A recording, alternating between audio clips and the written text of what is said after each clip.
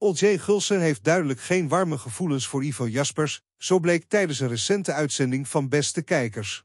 Toen presentator Ruben Nicolai de naam van de boer zoekt vrouwhoos liet vallen, kon Olje haar afkeer niet verbergen. Met een uitroep van oh, vreselijk, liet ze haar mening luid en duidelijk horen, wat tot hilariteit leidde in de studio. Echter, niet iedereen kon erom lachen, Mark-Marie Huibrechts, een vriend van Ivo, reageerde serieuzer.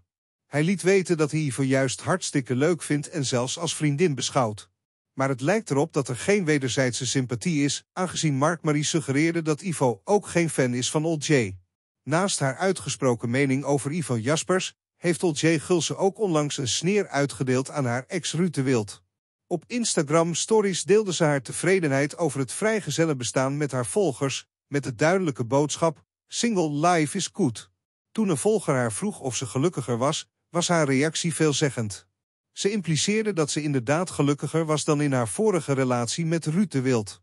Haar dag begint ze nu vol positiviteit, met een overvloed aan energie en een hernieuwde zin in het leven. Het lijkt erop dat Olje Gulsen momenteel geniet van haar onafhankelijkheid en nieuwe levenslust na haar breuk met Ruud de Wild. Haar openhartigheid over zowel haar afkeer jegens Ivo Jaspers als haar tevredenheid als vrijgezel maken haar een opvallende figuur in de Nederlandse entertainmentwereld.